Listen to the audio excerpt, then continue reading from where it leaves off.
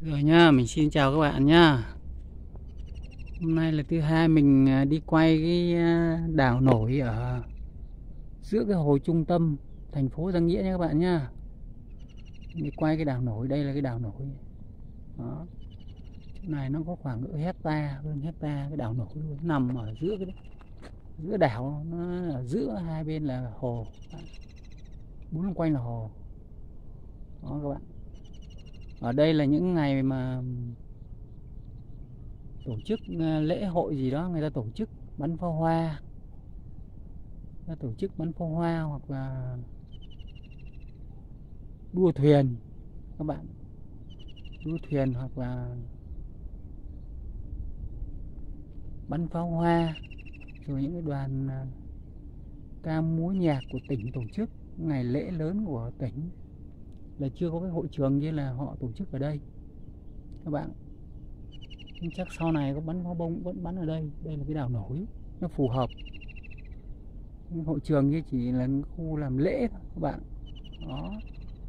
Trên đó là cái đường à, dãy nhà người ta ở. Đó, đi lên một khúc nữa là đường à, tôn đức thắng. Các bạn, đường tôn đức thắng chạy dọc ở đấy đi à, chạy dọc ở đấy dọc ở đấy về à, đường đồi pháo. Mà làm chưa thông, cái đường nó làm cái khúc khúc khúc khúc. Đường ở đây làm, người ta giải tỏa nó cũng chả đâu ở đâu. Đấy, các bạn, hồ đấy. Dãy nhà bên kia đẹp. Đó. Các bạn. Mặt nước hồ đấy đó nha các bạn nha. Mặt nước hồ lung linh ấy. Các bạn. Đấy, mình zoom nó ra cho nó lớn. Mình quay. Các bạn thấy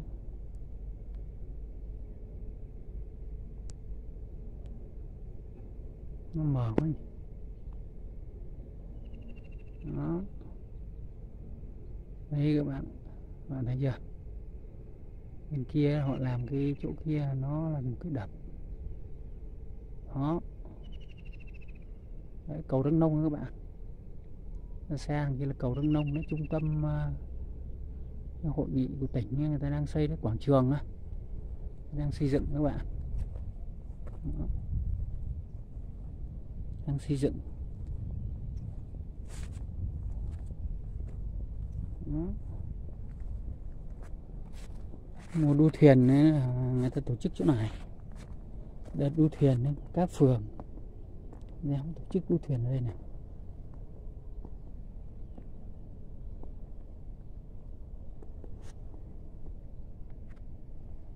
Đó.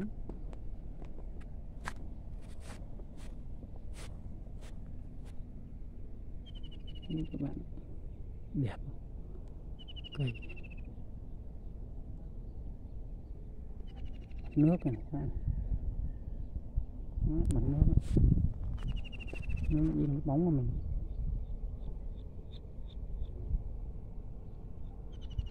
đó. bên kia họ đang làm một con đường đang làm một con đường à, chạy quanh bốn quanh cái bờ đập. Đó.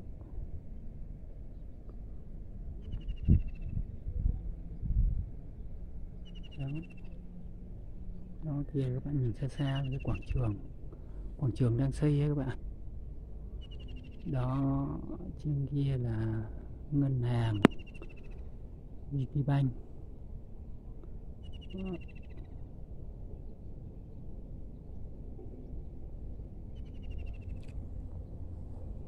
Đưa các bạn đi xem cái mé à, nhìn à,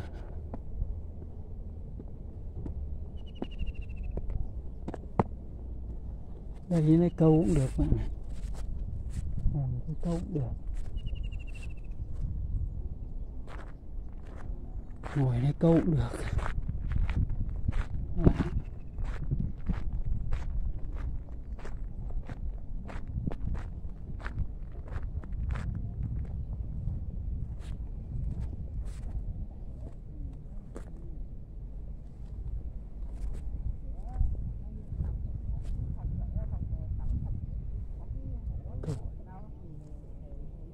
mấy đứa đang câu các bạn mấy cầu.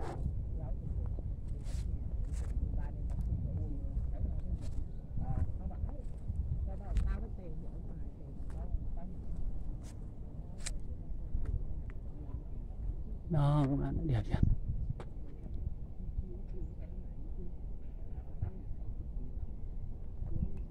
Kia là cái nhà thờ công giáo, nhà thờ đạo. Các bạn. Đó, nhà thờ đạo.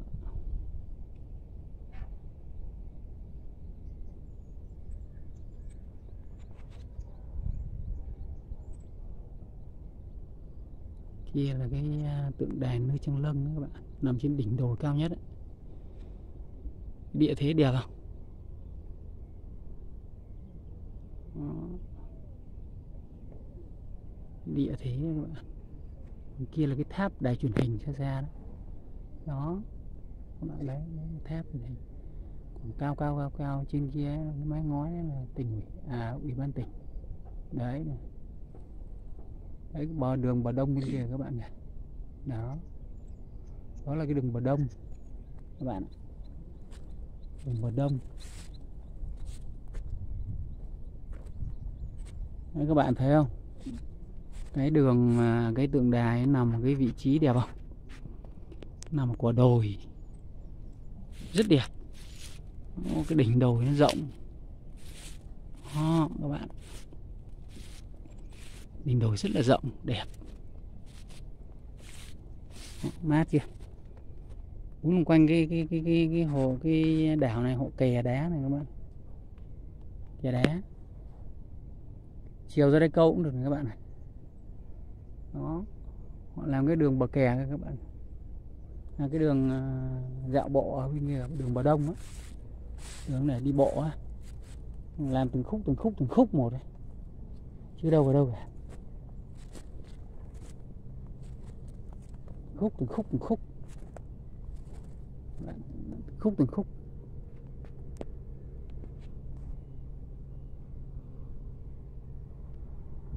Đấy, tượng đài nhá mình zoom cái tượng đài nó to lên thế này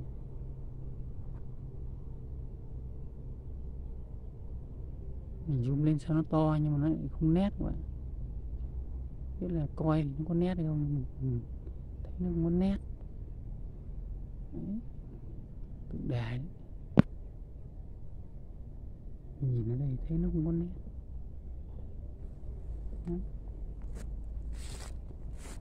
Đấy, còn bên kia là khu tái định cư bờ đông nha các bạn. Tái định cư mà nó không có người xây. Cả năm nay có một hai cái một hai ngôi nhà đang xây các bạn thấy không? Không có tiền. Trước là lô đấy mấy tỷ đấy. 3 tỷ mấy 4 tỷ ấy. bây giờ bán chả được nhiều người vay ngân hàng ở đấy há mồm luôn. Bán làm sao được? Đất nó sốt ảo ấy. thì nhiều người cái hiểu biết cái giới hạn này thấy nó lên vậy thì cũng vay ngân hàng để mua. Đó. nhiều người có cái tính kỳ lắm. Như cái khoe có nhiều đất. Đi mua. Vay và mua bây giờ mới chết. Bán không bán được có nhiều người xây không không không có tiền làm nữa. Bỏ nửa chừng. Đó. Mấy trăm lô ấy, nhưng mà không có người ở mua chẳng qua người ta thấy tưởng đất lên này, sốt ảo vậy người ta đầu tư người ta mua. Nhiều người người ta được à, bốc tái định cư ấy. các bạn nhiều người được bốc tái định cư là người ta bán người ta được cấp tái định cư gọi là được cấp ấy nhưng mà thực tế là mua với nhà nước á các bạn. Mình cũng được một lần được tái định cư tính như cả tỷ hơn tỷ ấy, mua lô tái định cư ấy Thế là mình được hỗ trợ nha. Mình được hỗ trợ là mình được giải tỏa không được ờ, bốc một lô tái định cư. Nói cấp với không đúng cấp là cấp không nữa. Đây là, là coi như là mua một lô tái định cư đấy các bạn. Đó mua một lô tái anh cư là tính hồi đó năm.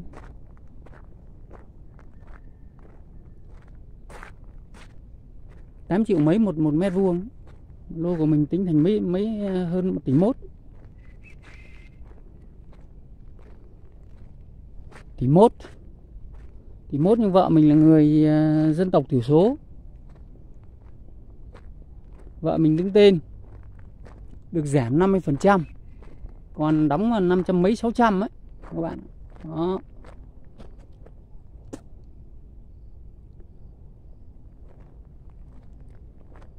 Còn cái, những cái lô ở bờ đông kia trước này nó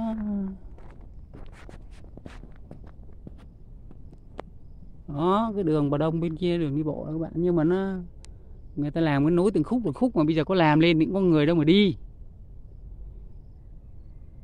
gọi là làm vậy thôi các bạn ạ làm vậy thôi chứ thực tế có người đâu mà đi không có người không có người đi luôn ấy.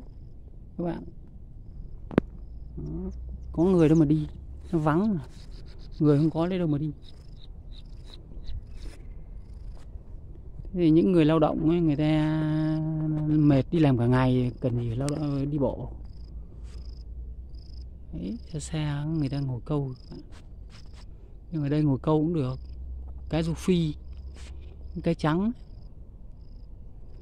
Câu buổi chiều mai cũng được ký hai ký về ăn? Vừa giải trí vừa vui. Đó bạn này.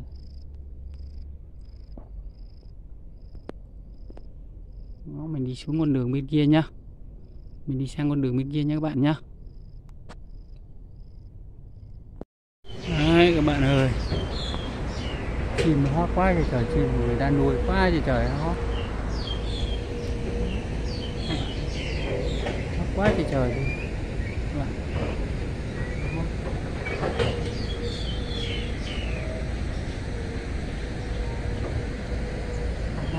quá trời.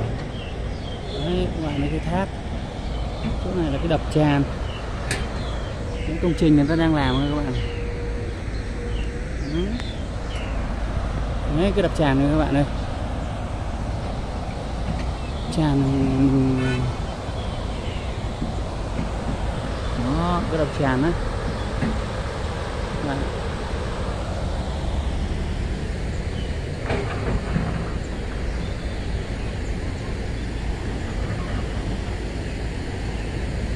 cái khu này nó giải tỏa hết rồi trên này là đường. Sau này nó giải tỏa hết rồi. Đấy, đây là bên kia là cái quảng trường nha các bạn nhé. Xây cái quảng trường á thì thành phố đấy. đấy quảng trường của thành phố các bạn. Đó.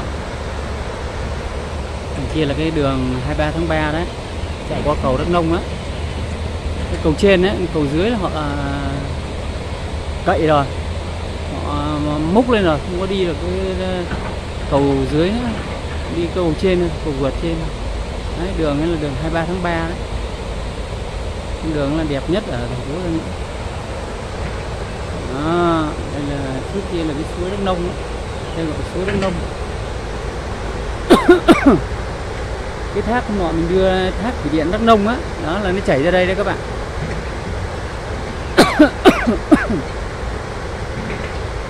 Đấy các bạn ơi.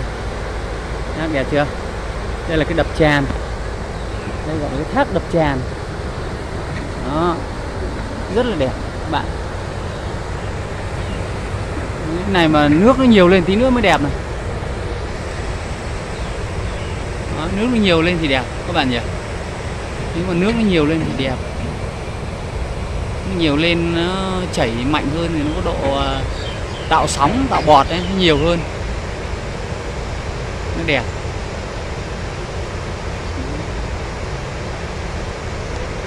Mình zoom nó ra tí nữa nhá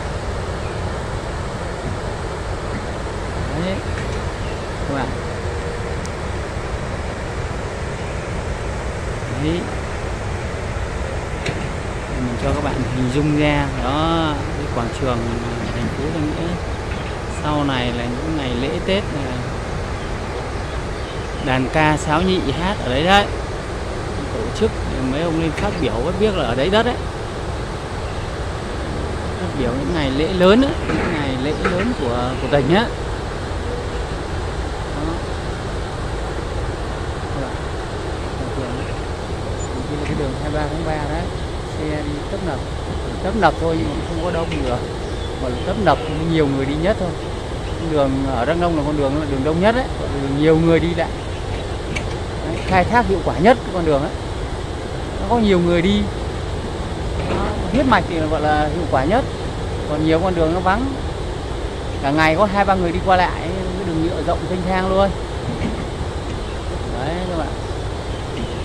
Còn khu bên này là giải tỏa hết này sau này đây người ta giải tỏa hết các bạn để này, ai để ờ, một xóm này chỗ này chắc là người ta chưa có tiền, người ta chưa lấy tiền, người ta chưa đi. Hoặc nó còn đang khúc mắc ở cái chỗ nào đó. Cái đó thì mình không biết. Đấy, các bạn ơi. Điểm đấy, các bạn. Đấy, thì ờ, uh, ừ. bạn nha nó đẹp nha vô hồn nhé bạn đẹp vô hồn Đấy, thấy không? Đấy, nếu sau này cái tượng đài trung tâm nhìn sang các bạn thấy không? Đấy tượng đài nơi trăng lâm, nơi trăng lương nơi trăng lương nơi trăng long. Gọi thế nào cũng được mà cái tên thật thì không có hiểu, mình không có hiểu. Nhưng mình thấy nhiều người gọi là nơi trăng lâm nơi trăng lương nơi trăng long. Đó. Đấy, các bạn. Anh hùng à, nơi trăng Long này là ngày xưa là thời chống Pháp các bạn. Chứ không phải chống Mỹ mà thời chống Pháp. Đứng lên, chống lại thực dân Pháp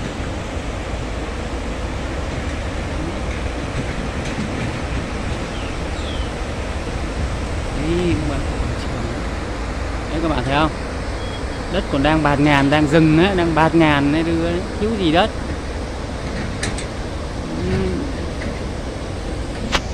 Đấy.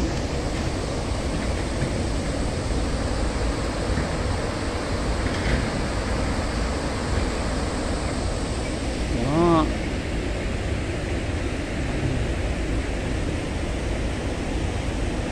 Đẹp chưa? Toàn cảnh đấy nha đấy toàn cảnh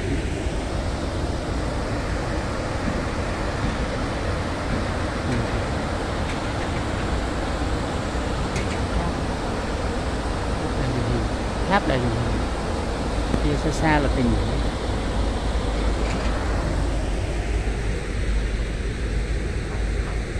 đây vẫn sẽ là giờ cả chắc là hòn nắn là con đường đi đến đây.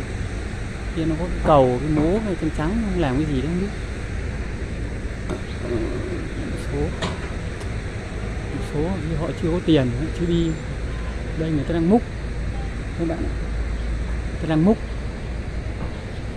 múc người này. Cái nhà này sau này chắc đi hết.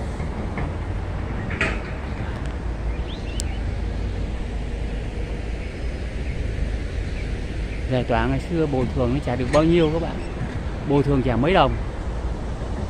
Ngày xưa mình giải tỏa, bồi thường đâu được có mấy chục triệu à. Nhưng mà mua lô đất ấy là đã được hỗ trợ à, một nửa nha.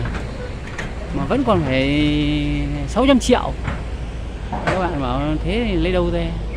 Dân lấy đâu ra mà tiền mà mua? Đó. Nên là nhiều người bốc tái định cư xong là bán nhiều người bán quyết định là bán à, mấy trăm triệu. Rồi mấy thằng đầu cơ đất nó quan hệ với lại à, chính quyền á, quan hệ mấy thằng à, bên tài nguyên môi trường, quỹ đất đai á. Nó mua rẻ như vậy xong bắt đầu là lúc nó đi bốc đút tiền vào bốc lô đẹp. Bốc lô đẹp nó bán ra. Không có lời. Nội dung là như vậy. Đấy, múc các bạn à. múc múc coi chưa?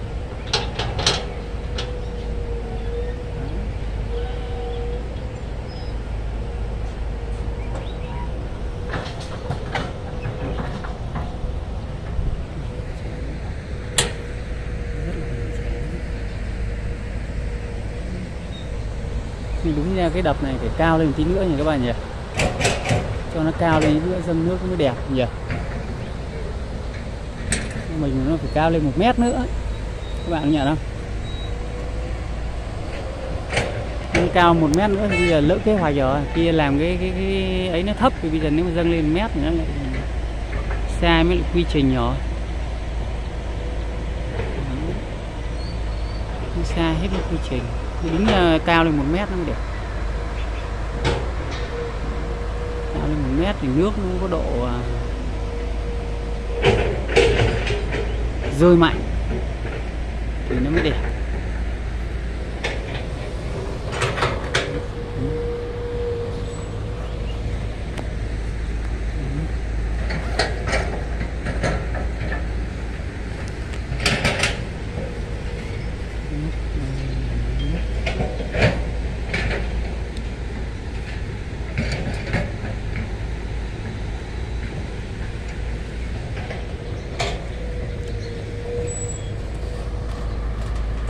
Xe. Cái có măng đấy. Bạn. Xe. Xe này nó có măng đấy.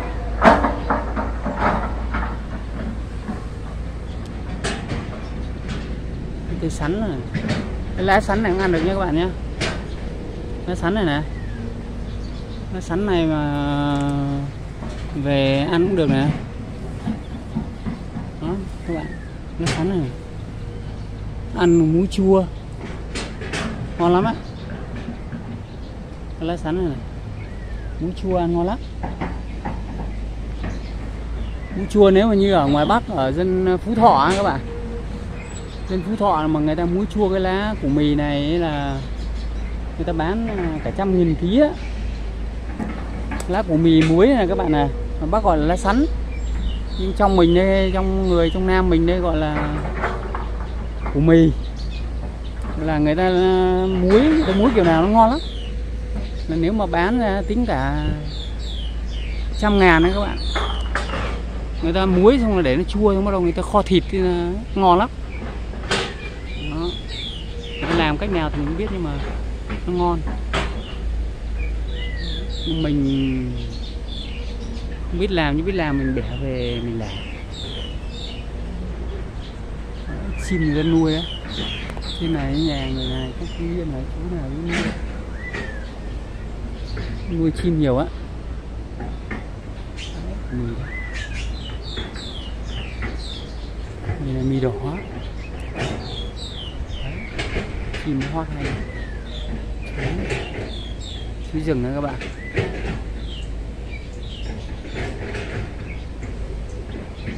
Gốc chim nhiều quả gốc à? Hai quả gốc thôi video hôm nay đến đây thôi nhé các bạn nhé. Mình uh, chúc các bạn ngày đầu tuần uh, có nhiều sức khỏe nhá. Để làm việc uh, tuần mới nó có hiệu quả năng suất nhá. Chào các bạn nhá. Chúc các uh, gặp uh, hẹn gặp lại các bạn ở video sau nhá. Xin chào.